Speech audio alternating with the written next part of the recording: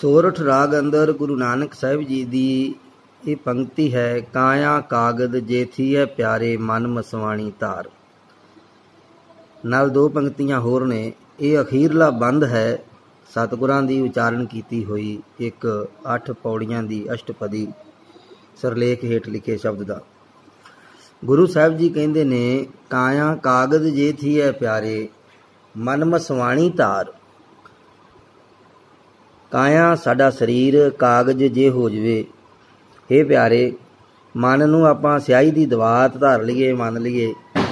ਕਾਇਆ ਕਾਗਜ਼ ਬਣ ਜਵੇ, ਮਨ ਸਿਆਹੀ ਦੀ ਦਵਾਤ ਬਣ ਜਵੇ। ਲਲਤਾ ਲੇਖਣ ਸੱਚ ਕੀ ਪਿਆਰੇ, ਹਰ ਗੁਣ ਲਿਖੋ ਵਿਚਾਰ। ਲਲਤਾ ਭਾਵ ਜੀਵ ਲੇਖਣੀ ਜਿਹੜੀ ਹੁੰਦੀ ਆ ਕਲਮ ਨੂੰ ਕਹਿੰਦੇ ਆ। ਸੱਚੇ ਪ੍ਰਮਾਤਮਾ ਦੀ ਸਿਫਤ ਸਲਾਹ ਲਿਖਣ ਵਾਲੀ ਕਲਮ ਬਣ ਜਾਵੇ ਸਾਡੀ ਜੀਬ ਇਹ ਪਿਆਰੇ ਹਰ ਗੁਣ ਲਿਖੋ ਵਿਚਾਰ, ਪ੍ਰਮਾਤਮਾ ਦੇ ਗੁਣ ਵਿਚਾਰ ਕੇ ਉਹਦੇ ਗੁਣਾਂ ਨੂੰ ਚੇਤੇ ਕਰਕੇ ਆਪਾਂ ਲਿਖਣਾ ਸ਼ੁਰੂ ਕਰੀਏ।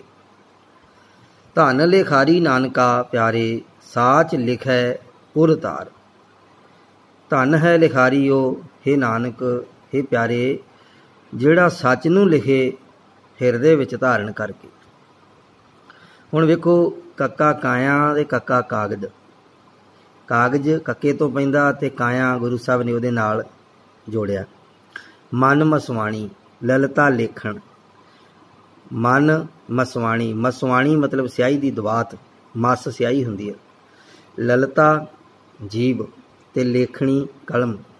ਲਲਤਾ ਲੇਖਣ ਸੱਚ ਕੀ ਪਿਆਰੇ, ਹਰ ਗੁਣ ਲਿਖੋ ਵਿਚਾਰ। ਇਹਨੂੰ ਧਿਆਨ ਨਾਲ ਸਮਝਣਾ। ਕਲਮ ਨੂੰ ਵੇਖੋ ਤੇ ਵੇਖ ਕੇ ਕੁਝ ਨਹੀਂ ਪਤਾ ਲੱਗਦਾ ਵੀ ਇਹਨੇ ਕੀ ਲਿਖਣਾ। ਕਿਹੜੇ ਅੱਖਰ ਪਾਉਗੀ ਸਿਆਹੀ ਦੀ ਦਵਾਤ ਨੂੰ ਵੇਖੋ ਤੇ ਢੱਕਣ ਬੰਦ ਹੈ। ਉਸ ਸਿਆਹੀ ਦੀ ਦਵਾਤ ਵਿੱਚ ਕਿਹੜੇ ਰੰਗ ਦੀ ਸਿਆਹੀ ਹੈ ਤੇ ਕਿਹੜੇ ਉਹਦੇ ਚ ਅੱਖਰ ਨੇ? ਕੁਝ ਨਹੀਂ ਪਤਾ ਲੱਗਣਾ। ਪਰ ਜਦੋਂ ਇਹੀ ਕਲਮ ਔਰ ਇਹੀ ਦਵਾਤ ਦੇ ਵਿੱਚੋਂ ਸਿਆਹੀ ਵਰਤੋਂ ਚ ਆਉਂਦੀ ਹੈ ਤੇ ਕਾਗਜ਼ ਦੇ ਉੱਤੇ ਲਿਖ ਦਿੱਤਾ ਜਾਂਦਾ ਹੈ ਤੇ ਫਿਰ ਪਤਾ ਲੱਗ ਜਾਂਦਾ ਹੈ ਕਿ ਕੀ ਲਿਖਿਆ ਹੈ, ਕਿਹੋ ਜਿਹਾ ਲਿਖਿਆ ਹੈ, ਸੱਚ ਲਿਖਿਆ ਕਿ ਝੂਠ ਲਿਖਿਆ। ਗੁਰੂ ਨਾਨਕ ਸਾਹਿਬ ਕਹਿੰਦੇ, ਮਾਨਿਆ ਸਿਆਹੀ ਦੀ ਦਵਾਤ। ਤੇ ਮਨ ਦੇ ਵਿੱਚ ਕੀ ਆ, ਆਪਾਂ ਨੂੰ ਪਤਾ ਹੀ ਨਹੀਂ, ਕਿਸੇ ਦਾ ਜਾਂ ਉਹਨੂੰ ਪਤਾ ਜਾਂ ਰੱਬ ਨੂੰ ਪਤਾ। ਬੰਦਾ ਆਪਣੇ ਮਨ ਵਿੱਚ ਚੰਗਾ ਲੈ ਕੇ ਬੈਠਾ ਹੈ ਕਿ ਮਾੜਾ ਜੀਬ ਜਿਹੜੀ ਹੈ ਬੋਲੇ ਤੇ ਪਤਾ ਲੱਗੇਗੀ ਤੇ ਮਨ ਦੀ ਸਿਆਹੀ ਜਦੋਂ ਕਾਇਆ, ਕਾਗਜ਼, ਸਰੀਰ ਰੂਪੀ ਕਾਗਜ਼ ਦੇ ਉੱਤੇ ਅੱਖਰ ਪੈ ਜਾਂਦੇ, ਫਿਰ ਪਤਾ ਲੱਗਦਾ ਵੀ ਇਹਦੇ ਮਨ 'ਚ ਕੀ ਸੀ। ਕਾਇਆ ਕਾਗਦ ਜੇ ਥੀ ਹੈ ਪਿਆਰੇ, ਗੁਰੂ ਨਾਨਕ ਪਾਤਸ਼ਾਹ ਕਹਿੰਦੇ, ਸਾਡਾ ਸਰੀਰ ਹੋਵੇ ਕਾਗਜ਼, ਮਨ ਹੋਵੇ ਸਿਆਹੀ ਤੇ ਜੀਬ ਹੋਵੇ ਕਲਮ। ਤੇ ਲਿਖਾਰੀ ਉਹ ਧਨ ਹੈ ਜਿਹੜਾ ਸੱਚ ਲਿਖ ਰਿਹਾ ਹੈ, ਜਿਹਦੇ ਮਨ ਵਿੱਚ ਵੀ ਸੱਚ ਦੀ ਸਿਆਹੀ ਹੈ, ਜਿਹਦੀ ਕਲਮ ਵੀ ਸੱਚ ਦੀ, ਲਲਤਾ ਹੈ, ਸੱਚ ਦੀ ਲੇਖਣੀ ਹੈ। ਗੁਰੂ ਨਾਨਕ ਪਾਤਸ਼ਾਹ ਮਹਾਰਾਜ ਨੇ ਬੰਦੇ ਨੂੰ ਕਰਨੀ ਪ੍ਰਧਾਨ ਜੀਵਨ ਬਖਸ਼ਿਆ।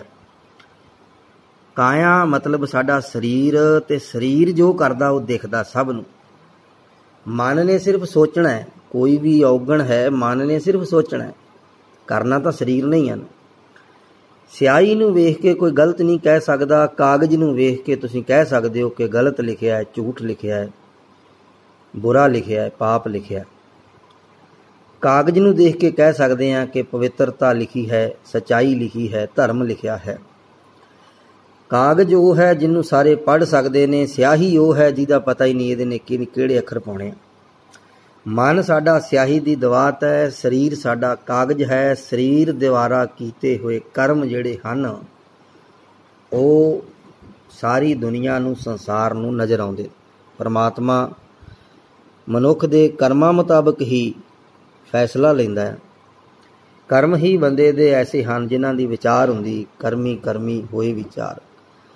ਪਰ ਜਿਵੇਂ ਕਾਗਜ਼ ਤੇ ਅੱਖਰ ਉਹੋ ਜਿਹੇ ਹੀ ਪੈਣਗੇ, ਜਿਹੋ ਜੀ ਸਿਆਹੀ ਹੈ। ਸਿਆਹੀ ਲਾਲ ਰੰਗ ਦੀ ਹੈ ਤੇ ਅੱਖਰ ਲਾਲ ਹੀ ਪੈਣਗੇ। ਸਿਆਹੀ ਕਾਲੇ ਰੰਗ ਦੀ ਹੈ ਤਾਂ ਫਿਰ ਕਾਲੇ ਹੀ ਪੈਣਗੇ। ਮਨ ਜਿੱਦਾਂ ਦਾ ਹੈ, ਉਹੋ ਜੇ ਸਰੀਰ ਨੇ ਕਰਮ ਕਰਨੇ ਹਨ, ਉਹੋ ਜਿਹਾ ਜ਼ਬਾਨ ਨੇ ਬੋਲਣਾ ਕਲਮ ਮਜਬੂਰ ਹੈ। ਉਹ ਨੀਲੇ ਰੰਗ ਦੀ ਸਿਆਹੀ ਵਿੱਚ ਚੁੱਭੀ ਲਾ ਕੇ ਲਾਲ ਰੰਗ ਦੇ ਅੱਖਰ ਨਹੀਂ ਪਾ ਸਕਦੀ। ਮਨ ਸਿਆਹੀ ਹੈ, ਜ਼ੁਬਾਨ ਕਲਮ ਹੈ। ਤੇ ਮਨ ਦੀ ਜਿੱਦਾਂ ਦੀ ਰੰਗਤ ਹੈ, ਜ਼ੁਬਾਨ ਤੇ ਆਉਣੀ ਆਉਣੀ ਹੈ। ਤੇ ਫਿਰ ਕਾਗਜ਼ ਸਰੀਰ ਹੈ, ਬੰਦੇ ਦਾ ਕਾਰ ਵਿਹਾਰ ਸਾਰਾ ਉਹ ਜਾ ਹੋ ਜਾਣਾ। ਗੁਰੂ ਨਾਨਕ ਪਾਤਸ਼ਾਹ ਕਹਿੰਦੇ, ਹਰ ਬੰਦਾ ਲਿਖਾਰੀ ਹੈ, ਦੁਨੀਆ ਦਾ ਹਰ ਬੰਦਾ ਲਿਖਾਰੀ ਹੈ।